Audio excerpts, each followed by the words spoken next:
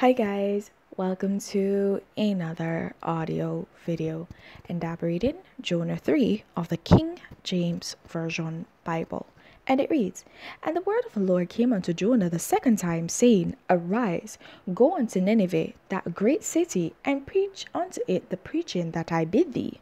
So Jonah arose and went unto Nineveh according to the word of the Lord. Now Nineveh was an exceeding great city of three days' journey. And Jonah began to enter into the city a day's journey, and he cried and said, Yet forty days, and Nineveh shall be overthrown. So the people of Nineveh believed God, and proclaimed a fast, and put on sackcloth, from the greatest of them even to the least of them. For the word came unto the king of Nineveh, and he arose from his throne, and he laid his robe from him and covered him with sackcloth and sat in ashes. And he caused it to be proclaimed and published through Nineveh by the decree of the king and his nobles, saying, Let neither man nor beast, nor herd nor flock taste anything, let them not feed nor drink water, but let man and beast be covered with sackcloth and cry mightily unto God. Yea, let them turn every one from his evil way and from the violence that is in their hands.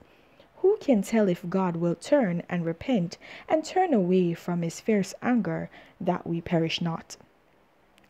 And God saw their works, that they turned from their evil way, and God repented of the evil that he had said that he would do unto them, and he did it not. All right, so guys, here's a conclusion right? He went forward, Jonah went ahead and did as the Lord said and preached the message to them. And they heard and they were repentant. Yes, guys, they were repentant. So these people whom Jonah had condemned in his heart, who God sent him to warn so that they could be saved, so that they could have salvation. And he didn't want to go. Here, these people have turned and have gained their salvation, have and have been saved through Christ because Jonah had finally repented of what he had done and went and did as the Lord bid him to do. So, guys, I want to encourage you to do what the Lord bids you to do. You do not know who it will save, you do not know the impact that it will have, the level of impact that it will have on others.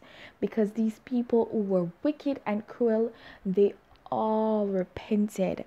And this shows you also the magnitude, the power of fasting because these people fasted. They were fasting because no one would eat anything. If you realize that was what was said, they all denied themselves of food, themselves and their animals. They all were on a fast, a worldwide fast, a, not a worldwide fast, a nationwide fast in their city.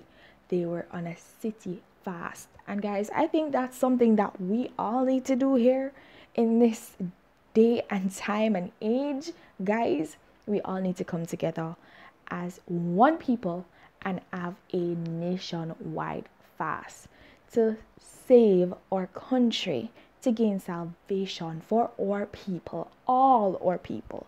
Okay? So, guys, I'm just gonna leave that right there. But, guys, please remember to continue to walk in your salvation. And if you've not gained it, then seek it. There's no better time to begin than the present. Have yourselves a blessed day. Bye.